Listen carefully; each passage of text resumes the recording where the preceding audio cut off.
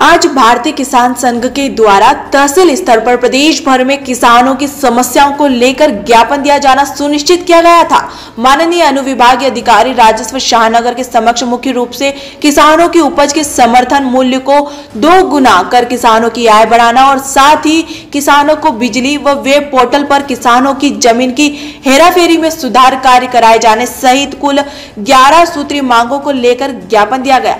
उसी की तारतमय में आज तहसील शाहनगर के भारतीय किसान संघ अध्यक्ष गजेंद्र सिंह राठौर महामंत्री राजू पटेल उपाध्यक्ष आनंद कुमार यादव व अन्य किसान साथी उपस्थित रहे। ज्ञापन के दौरान किसान संघ के अध्यक्ष गजेंद्र सिंह राठौर ने क्या कुछ बताया? आइए आपको सुनवाते हैं।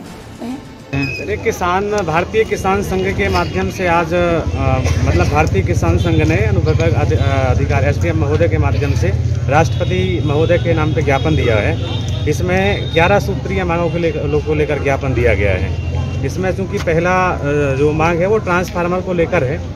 दूसरी मांग सर जी आज के समय में किसान वेब जी पोर्टल को लेकर ज़्यादा परेशान है। मतलब किसानों की ज़मीन पट्टे में तो सही है, लेकिन जब पोर्टल में आई वो ज़मीन तो किसी दूसरे के नाम पे दिखने लगी। उसको लेकर के ज़्यादा समस्याएँ किसानों को हैं। और ऐसे ही करके हमारी ग्यारह मांगे हैं कुल मिलाकर के।